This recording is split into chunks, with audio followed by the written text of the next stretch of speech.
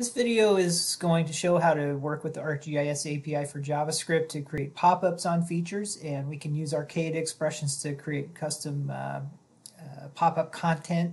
I'm going to start with a uh, choropleth map of Washington state counties showing the percent of people fully vaccinated as of May 18th, 2021. I got this data from the Washington State Department of Health and the Washington State Office of Financial Management uh, for the population figures. Uh, it's just loading in a GeoJSON with a class breaks renderer, and what we're going to do is add it so that when you click on a county, you'll see a pop-up like this. It has the county name as the title, and then it shows number of people vaccinated out of the total, and then it um, uh, reports the percentage and rounds it off. Uh, so uh, it's going to involve several moving parts to get a pop-up like this.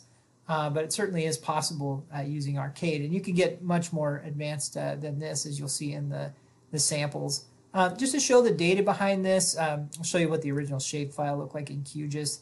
I've got these fields that are in my GeoJSON here. Uh, fully vax, which is the number of people vaccinated, estimated population as of 2020, and then a percentage, which I already just divided one by the other in the field calculator. However, you can see that this percentage is not uh, very clean. It's going to have a decimal on it. It has to be multiplied. And so that's what we're going to try to do is round that off to show a, a nice uh, uh, a nice rounded percentage. For example, here we're going to round this to 38%. So remembering how we add stuff using ArcGIS API for JavaScript or just about any web programming languages, you find a code example that works, that's what you want to do, and then you modify it. So if you go into the uh, sample code um, and you look down under pop-ups, there's a lot of great samples for that uh, that Esri has provided there. And uh, there's one called Reference Arcade Expressions in a Pop-Up Template. And uh, this is the one that we're going to be working with here to modify the code. Now, I, in a previous video, I already showed how to make the uh, the base map like this, uh, or and the the thematic layer with the green. So you can watch that video if you want to get to this point. And that's why I already have a lot of code in my uh, index.html uh, file here, which we'll be editing in a second. Let's take a look at this example. Uh, they have put uh, some real fancy pop-ups on here using a lot of arcade and uh, sticking in values uh, with text, and then they make a table out of it.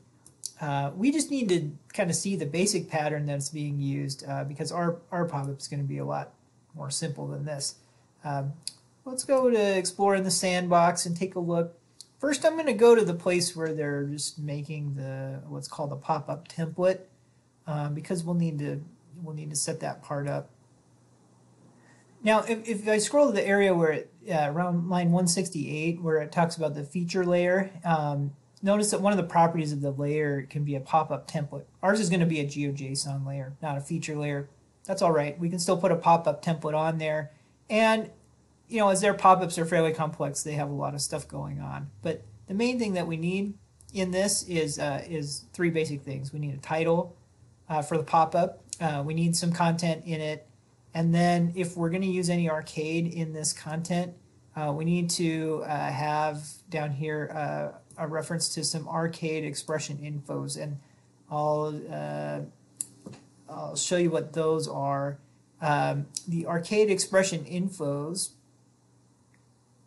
are all of your arcade statements, and you have to structure them in the way that um, in kind of a uh, a set way here that it's expected by the code. So in line 93 in this sample is where they make these arcade expression infos. It has basically all their arcade expressions they're going to use, and then they give them a name and title. And um, for example, you can see some arcade right here that subtracts one field from the other. Um, you can see some arcade here that rounds off a value, which is going to be really similar to what we want to do. Ours is going to look a lot like this one. So they have a bunch of these arcade expression infos, and we're just going to have uh, one of those. Um, and so this should be kind of a lot a lot easier in our case. Um, so, and then one other place where arcade expressions are referenced. Let me go back to this uh, pop-up template. You might have noticed inside the content, um, you can reference field values like this just by putting them in curly braces, but if you do, if you want to reference any kind of arcade expression, then you have to put it like this expression slash, and then you put the name of the arcade expression info that you made up above. So we're going to highlight pop-up template and very carefully go all the way down to the end of line uh, 255 here. Let's copy all of this. And then in our code, let's go down to the GeoJSON layer. And there's not much there, but we can stick this uh, pop-up stuff in just after the opacity. It'll be fine down here. And uh, now we need to get rid of the stuff we're not going to use. So um, we're going to use the arcade expression infos. That we're eventually going to set those up. So let's leave that there. Uh, but let's delete some of this other stuff. We don't need all this field info stuff. So we're going to go up to here, the end of the content like this. Uh, I think this should work out for us. So we got a pretty simple pop-up template now. Uh, and let's deal with the title. So we want the county name in there. So just referring back to our um, attribute table here, back in our original shapefile that I made into some GeoJSON. Um, the county uh, let's use county underscore NM, and that looks like the county name we want to have. Uh, so we can do that. I'm not going to put the state. Okay. That, that should be our title. And then um, the content, let's, uh, let's make a string we can put in here.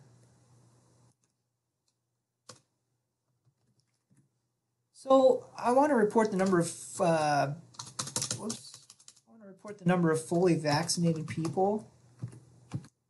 That that was in uh, that field, fully vax. That was in my uh, attribute table. Remember that. And then I want to say out of the total population. That's pop est.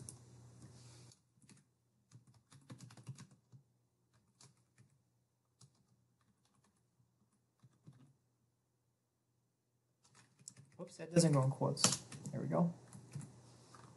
Uh, people have been fully vaccinated in this county.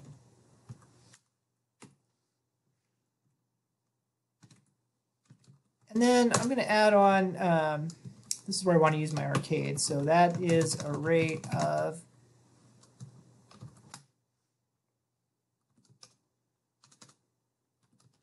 and I need I need some arcade to put in here because I can't I'm I can't take the value directly out of this field. Uh, it doesn't look that great. I want to multiply I want to multiply it by hundred, and I want to also round it down. So I need to do something with this uh, this field, and that's where I'm going to make the arcade expression info. So I've got to go back to the sample here, and I'm going to look up in the upper part where they make these arcade expression infos, and I'm just going to copy all of them in, and then I'll modify it grab them all.